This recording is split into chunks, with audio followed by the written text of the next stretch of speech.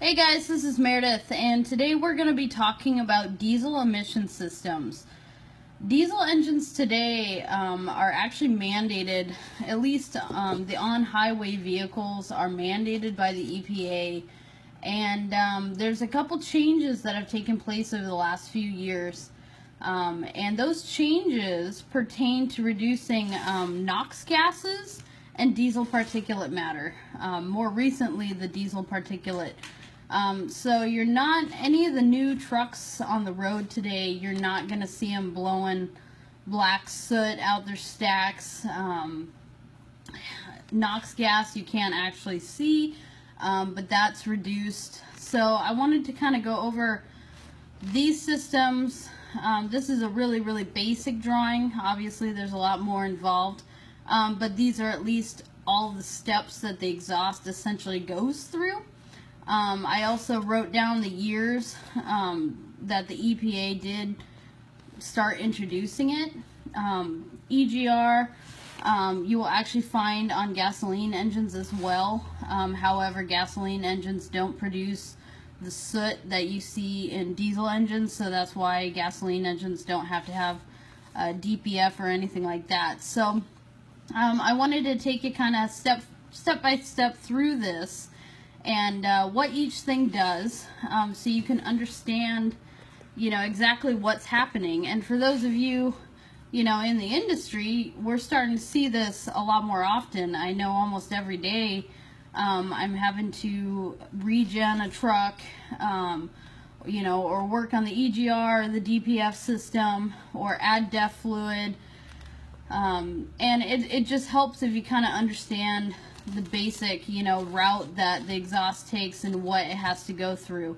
So, um, in this drawing, uh, I kind of highlighted some of the, the main parts. You've got your intake and your exhaust. Um, the first step, um, the EPA actually introduced it in 2002, and uh, I do have it on my car, I have it on my Jeep, um, but it is a primary part of a diesel setup nowadays. Um, and what EGR is, is called ex exhaust gas recirculation. And what it does is pretty much exactly what its title says. Um, as exhaust comes out of the combustion chamber, some of that exhaust is routed back into your intake.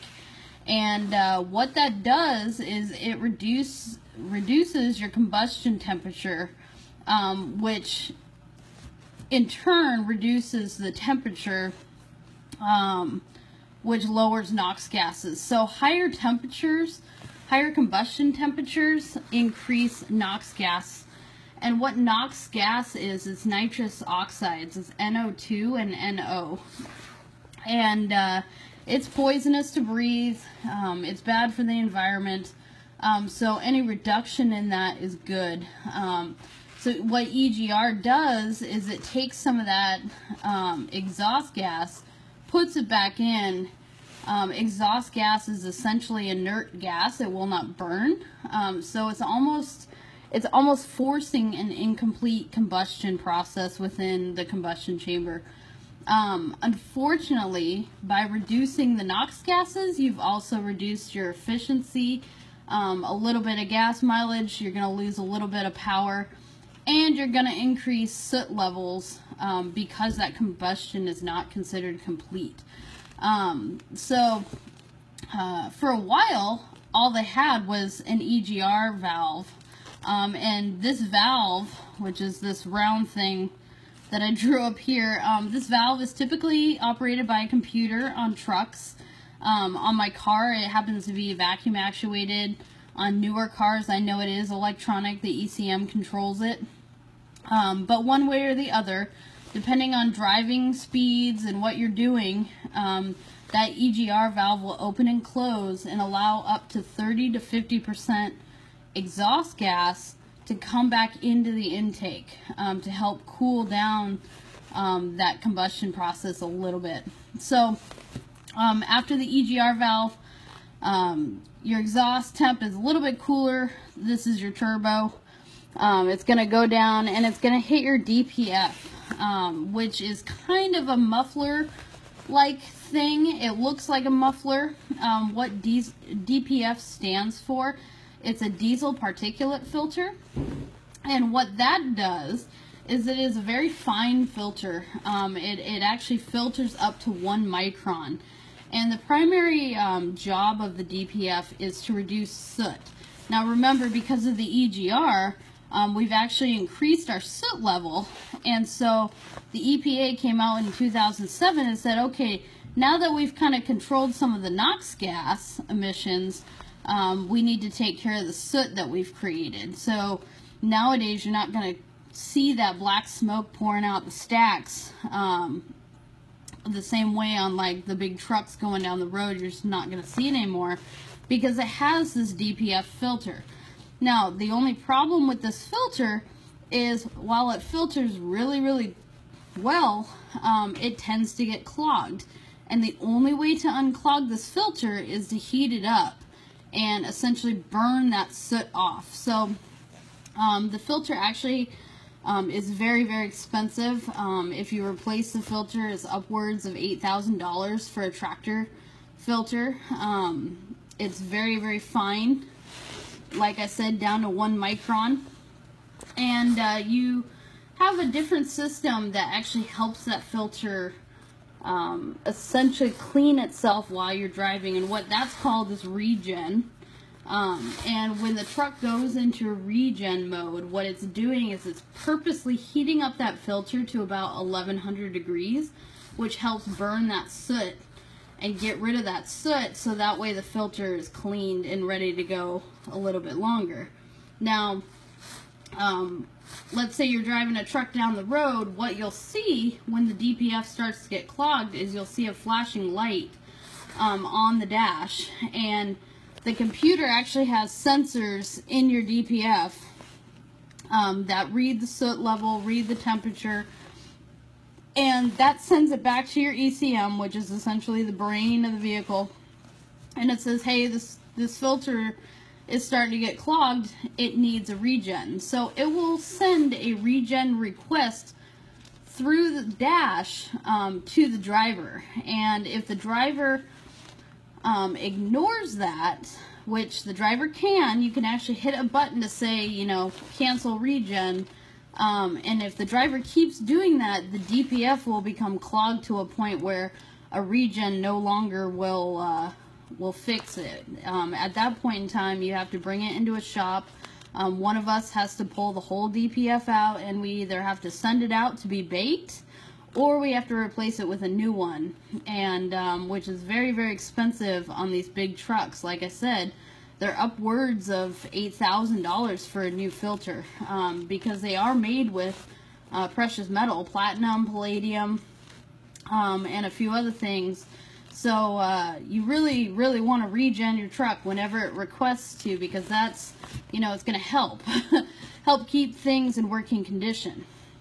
So Another thing with DPF is you don't want it to clog up because if this starts clogging up, you're going to increase your exhaust back pressure, um, which is going to essentially uh, force some of that soot back into the engine. And the engine oil will collect the soot, and soot is very abrasive, um, so it's uh, it's going to start, you know, damaging the inside of your engine, your camshafts, um, clogging oil ports, any orifices. Um, and remember, you know, newer engines, um, the newer the engine, the smaller the orifices that the oil has to go through.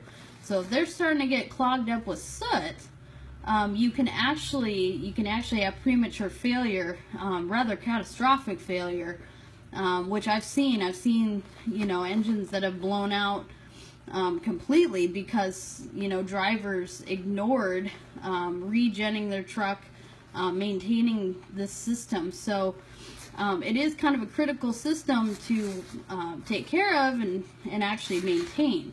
So um, another detail about regenning your truck, when you get that request on your dash, one thing it requires is high RPM. So a regen will take place um, when you're on the freeway or the highway um, and you, and you're driving at higher speeds. If you're driving through town, it's it's not going to be able to regen until you get back on the freeway. So um, that would be considered a regular regen. Um, I know some trucks actually have an option for a parked regen, where let's say you're parked in a parking lot.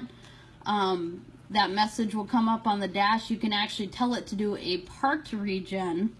Um, and it will the computer will put the engine into a high idle and it'll stay that way for about 40 minutes and it will bake the DPF essentially on its own in the parking lot. So there is you know a variety of ways for the driver to take care of this. Unfortunately, I'm not sure why, but a lot of truck drivers don't like to do it. so we get we get a lot of trucks um, coming in where I have to go in on the computer and do a forced regen because at that point in time the DPF is so clogged um, that a regular regen will not work. Um, the driver has ignored the prompts on the dash. They just kept, you know, driving or shut the engine off before the regen could complete or something like that, you know. And um, at that point in time, you have to have a shop um, do a forced regen, which you know takes special software where we have to manually override the computer and say, hey, I know you're clogged, but we're gonna bake the DPF for you. You know, we're gonna we're gonna do it with our computer. And so we'll take the truck outside, we'll plug it into the computer, and it will do a forced regen. Um, if the forced regen doesn't fix the problem because the DPF is so clogged, then it's time to send the DPF out to get baked or we have to replace it. So um, it is it is pretty important to take care of that. Um, now, DPF works um, a little bit differently depending on what engine you're working with. Um, on Caterpillar engines, DPF actually has um, an ARD head attached to it, and it it has an igniter, which is uh, essentially a spark plug um, it does have a fuel line. It does have a coolant line going to it. Um, so it's pretty much its own ignition to try to heat up that exhaust to the 1100 degrees. Um, other engines operate a little bit differently. They actually, uh, the computer will dump fuel after the combustion um, to try to heat up some of that exhaust. So there are a few different ways to try to bake that DPF. Um, but either way, you know, you want to stay on top of um, keeping that clean. Otherwise, you will begin to have problems and you can have rather catastrophic failure um, to your engine if you ignore it. Um, I am not familiar with, you know, pickup trucks, but I'm sure pickup trucks do have a regen request where they want you to get on the freeway and for God's sakes, you know, go out on the freeway for a little while and take care of it because it's an expensive thing to fix if you ignore it. So, anyways, um, so after the DPF, which reduces soot, um, it goes to the next stage, which is an SCR, and what that stands for is selective catalytic reduction or a reducer. So this is the reducer, and uh, those of you who drive trucks or ambulances, um, you'll notice that you have a DEF tank or a DEF tank. Um, what that holds is diesel exhaust fluid. And uh, it comes with a blue cap. You know, there's all kinds of stickers on the side of the vehicle that says this is not your diesel tank. This is your DEF tank. Don't mix the two up. Um, I have I have run into people who have actually put diesel into the DEF tank because a lot of times the um, hoses are right next to each other. So don't mix that up. But what a DEF tank is, um, diesel exhaust fluid is essentially ammonia. Um, it is uh, derived from uh, cow urine and uh, urea. And what ammonia does is when it combines with nitric, nitrous oxides, which is your NOx gases, um, so you've got, oh, my marker decided to die. NH3, um, which is ammonia, right? Plus your NOx gases, which are a result of your combustion temperatures. Um, when you combine the two, you will get essentially a harmless water and nitrogen. So that's the point of your SCR is to once again reduce those NOx gases because remember, the DPF heats up the exhaust once again to about 1100 degrees. Well, with that extra heat, once again, you are raising your NOx gas um, concentration. So that's why the SCR in, in 2010, the EPA was like, okay, we need to focus on reducing the nitrous oxides coming out of the exhaust because the DPF, once again, you know, with one comes the other. So if you're going to reduce your soot, you're going to increase your NOx gases. If you're going to decrease your NOx gases, you're going to increase your soot. So that's why um, you see the SCR after the DPF is uh, it takes care of that NOx gas that now is increased because you've reduced the soot. You've, you've raised the temperature once again. So um, after that is your muffler, which literally just is a muffler. It muffles the sound. Um, but that is that is the basics of a diesel emission system. So I hope I hope that kind of helps you guys understand what the system is comprised of and how it works. And uh, if you have any questions, let me know. And I hope you enjoyed the video. Thanks.